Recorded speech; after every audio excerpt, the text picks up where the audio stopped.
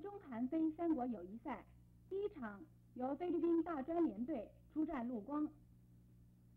上半场结束四十比三十六，菲律宾大专联队领先四分，两队相差还不算太远。下半场菲律宾大专联队越战越勇，最后以八十六比七十五胜了陆光十一分。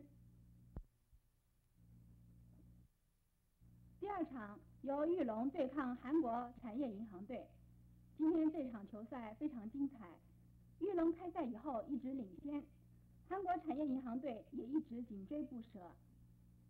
上半场结束，玉龙以三十九比三十八领先一分。下半场最后一分钟，韩国队打成平手。接着由玉龙进攻，钱一飞在外线投篮得到两分。中场玉龙以七十五比七十三